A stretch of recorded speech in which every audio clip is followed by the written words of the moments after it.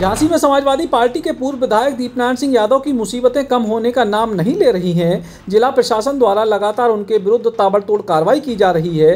कुछ दिन पूर्व ही जिला प्रशासन द्वारा लगभग दो सौ सैंतीस करोड़ की संपत्ति को कुर्क किया गया और इसके बाद फिर से झांसी के मोट थाना क्षेत्र अंतर्गत उनके पैतृक गाँव में लगभग सैंतीस करोड़ रुपये की संपत्ति को जिला प्रशासन ने कुर्क करने की कार्रवाई की है। समाजवादी पार्टी के कद्दावर नेता और गरोठा के पूर्व विधायक दीपनाथ सिंह यादव के खिलाफ जिला प्रशासन द्वारा गैंगस्टर की कार्रवाई की गई है, जिसके बाद उनके द्वारा अर्जित की गई संपत्ति को चिन्हित करके कार्रवाई की जा रही है, जिसके चलते विगत कुछ दिन पूर्व जिला प्रशासन द्वारा लगभग दो सौ सैंतीस करोड़ रुपये की संपत्ति को कुर्क किया गया और अब उनके मोट थाना क्षेत्र स्थित ग्राम बुड़ावली में दो जगह पर चल संपत्ति को कुर्क किया गया, जिसकी बाज़ार में कीमत लगभग सैंतीस करोड़ सत्तर लाख चौवन हज़ार रुपये बताई गई है।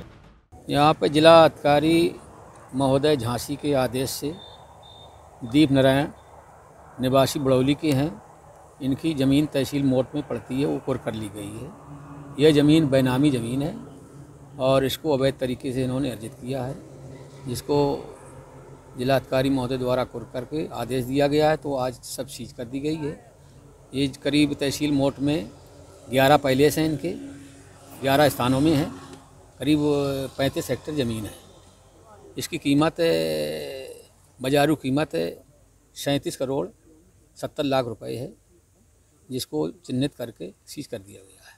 सर इसके अलावा किसी और की ज़मीन की गई है? नहीं नहीं जो आदेश डीएम साहब ने दिए हैं वही ज़मीन इनकी सीज की गई है। दीपनारायण सिंह यादव लगातार जेल में हैं और दूसरी तरफ़ उनकी संपत्तियों पर सरकार की टेढ़ी नज़र जारी है।